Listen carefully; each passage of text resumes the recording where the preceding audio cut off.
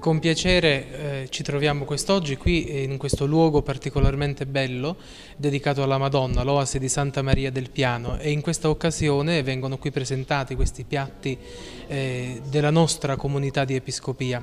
Con piacere davvero ho accolto eh, l'invito e quindi a partecipare da parte del sindaco e delle altre autorità da quando sono qui, tra l'altro anche ad Episcopia, sto apprezzando non solo la fede, la cultura, eh, la spiritualità, anche la cultura gastronomica. È una cosa bella perché unisce non solo la comunità magari di Episcopia, ma tante altre comunità, come ad esempio quella del mio paese di origine, San Severino. Ci sono tante, tanti prodotti in comune e questo vuol dire proprio, eh, ripeto, non soltanto il sentirsi eh, parte eh, di un piccolo centro, ma di una comunità anche ancora più allargata.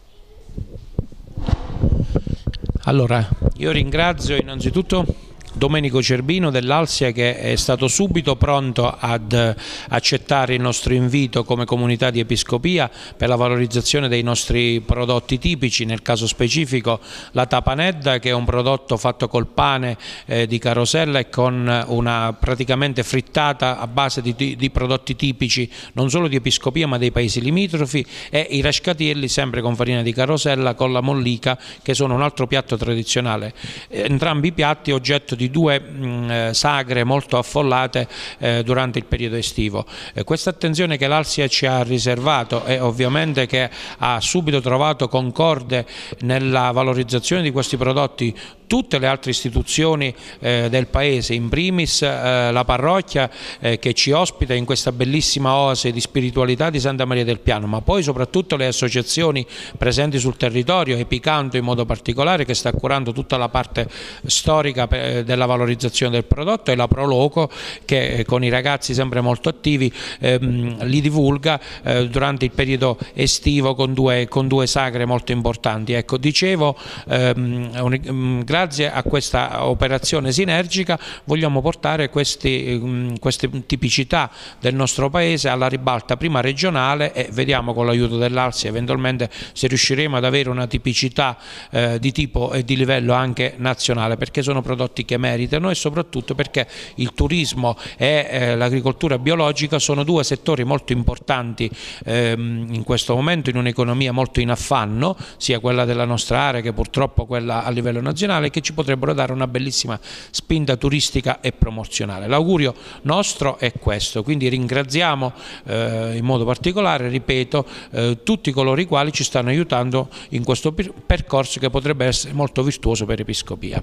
E adesso eh, ci spiegherà il dottor Cerbino quello che è l'intervento dell'Alsia eh, in, in questo settore. Allora, intanto ringrazio il Sindaco per eh, aver coinvolto l'Agenzia in, in questa attività di valorizzazione di questi prodotti tipici locali. Noi come agenzia sono ormai un bel po' di anni che stiamo lavorando per, eh, non solo per monitorare, censire la biodiversità agricola, ma eh, in particolare eh, questi piatti, queste produzioni tipiche che sono poi l'espressione della stessa biodiversità agricola.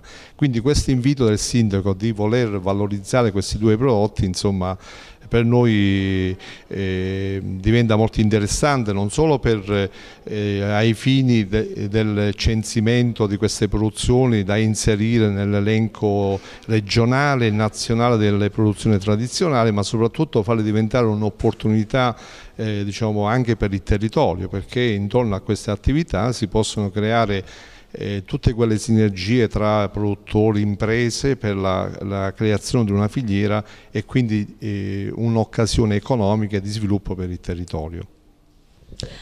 Una breve introduzione, forse conviene farla. Eh, noi stiamo presentando dei prodotti che rappresentano la tipicità proprio del Parco del Pollino e di questa zona. E, e mi sento di dire che questi prodotti vanno valorizzati al massimo anche perché chi viene, soprattutto i visitatori, hanno bisogno proprio di conoscere ciò che questa terra ha prodotto e riesce ancora a produrre. Quindi tutti i prodotti che vediamo sono, sono stati eh, elaborati elaborati con farina tipica del posto, che è una farina di grano duro che si chiama carosello e c'era pure il cappello nelle zone più alte. Eh, sono, eh, questa farina per esempio eh, è servita anche a fare questo pane dove è stata depositata una frittata con peperoni e salsiccia. Questo, eh, il nome classico di questo pane si chiama tapaned, che significa un pane che è stato trapanato, cioè bucato, e dove si è poggiato questa frittata molto calda e poi si è coperto. Tutto veniva avvolto in un canovaccio che si chiamava eh, uno strofinaccio che eh, riusciva a mantenere il sapore e anche la fragranza del cibo. I contadini della zona, i mietitori, eh, andavano la mattina in campagna con questo pane legato eh, e posto nella bisaccia e serviva come piatto unico per alimentarli durante tutta la giornata. Poi abbiamo i cavatelli rascati nel gergo, anche questi fatti rigorosamente con farina di grano duro, eh, il carosello, e il segreto per mantenerli, eh, per non farli scuocere è quello di impastarli con acqua calda.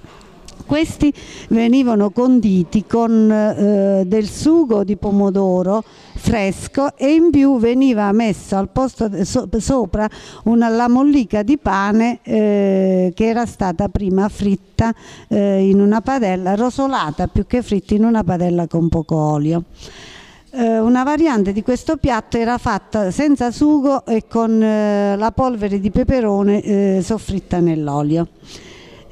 Qui abbiamo dei dolci, anche questi sono dolci tipici, i cosiddetti panzerotti, sono mh, mm, dei dolcetti ripieni di, castagna, di, farina di castagna impastata con miele e poco zucchero. Una variante a queste erano i ceci che usavano già i monaci basiliani nella loro cucina. Eh, questa è una crostata che eh, è stata fatta con delle more raccolte sul pollino. Passiamo adesso ai salumi. È un piatto forte quello dei salumi e della zona. Eh, qui ci troviamo di fronte a un affettato di prosciutto, salsiccia e sopersata, tipicamente della zona e curata nei locali eh, che tutte le famiglie d'un tempo tenevano apposta per la cura del salame, la stagionatura del salame. Questo è formaggio eh, sempre proveniente da Episcopia, mh, mm, pecorino e caprino, de, eh, caprino soprattutto della contrata Masonaro.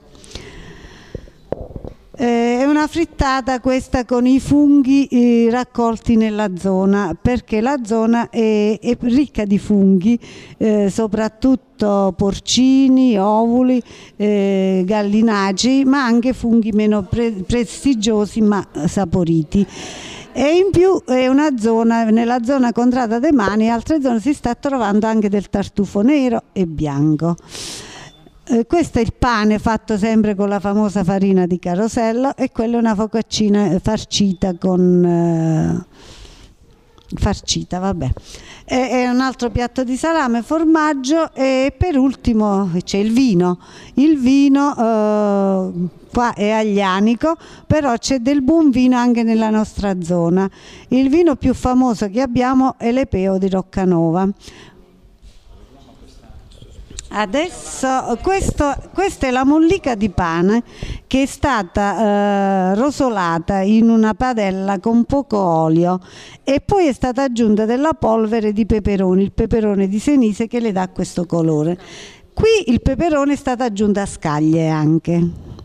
E questa, con questo si condisce eh, il piatto di pasta, i cavatelli, i rascatiedi i rascatieti li troviamo ancora qui e aspettiamo solo adesso a gustarli.